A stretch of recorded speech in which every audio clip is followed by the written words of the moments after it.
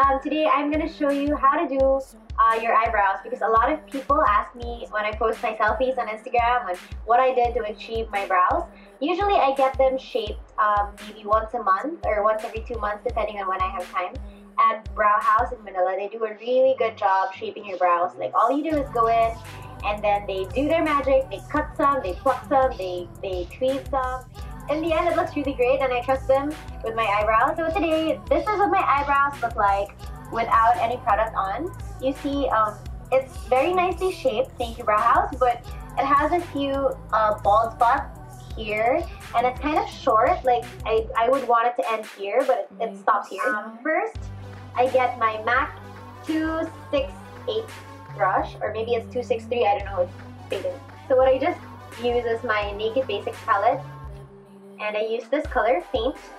You wet the tip of the brush when you use dark shadows so that it doesn't fall down on your face. So I just wet the tip of my brush, wipe it a little bit with tissue, and then apply it onto my paint.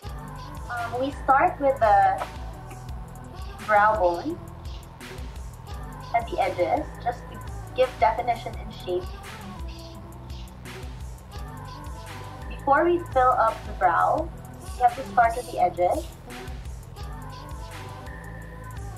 And then whatever is left on the brush, just lightly fill in the areas that you already have with hair. So when you get to the start of your brows, you don't want it to look like it's too drawn on. So I never add any product. I just really um, use whatever's left on my brush and apply it using light feathery strokes. But if you make a mistake here and it becomes too dark, what I like to do is I get this um, nose line brush and I just um, blend it a little and bring it down.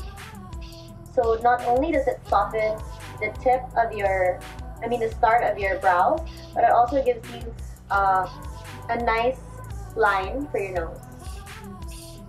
See, it's softer already. Um, I like to add brow gel. This one I'm using is by Dolly Wink end.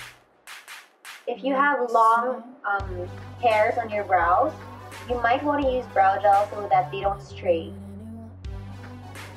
So it just gives the illusion of an overall softer brow, which I like. If you want to go forward and make your brows even more uh, defined, then I recommend that you use this K palette Real Lasting Eyebrow. It's very light, it's very thin. So what I do is just fill in the gaps with um, mimicking my hair. So it's like I'm drawing hair onto my brow.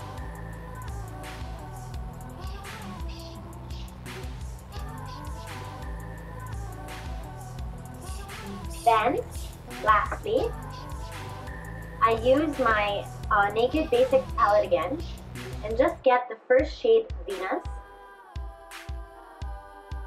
and apply it under my brow to highlight it.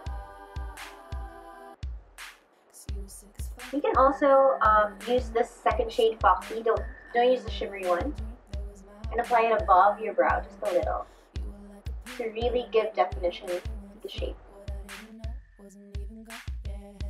I put a lot so that you guys can see, but um, generally you should blend it out so it's not too contrasting. This is my brow that I have done, and this is my original brow. You can see the difference.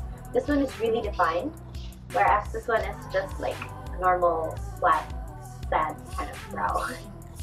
so uh, I'm gonna go ahead and do this one, and then I'll show you guys how it looks after. So this is my finished look. See, my brows are very defined now. And um, just a few tips to remember. Uh, your face isn't flat, it's 3D. So you want the sides of your brows, where it arcs to the bottom, to be darker than this part of the, the brow. So you can use either two shades or just uh, make your brush more defined here and lighter here. So there you go. I hope you learned something.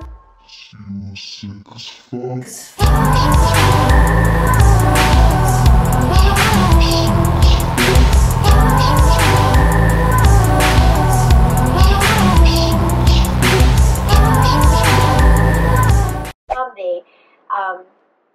I don't know what you call it with, with a thread. They thread some. No.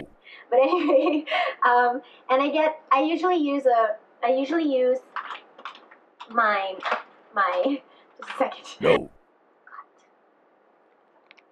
No, I'll just fast forward it. No, I already got. Oh. No. Way.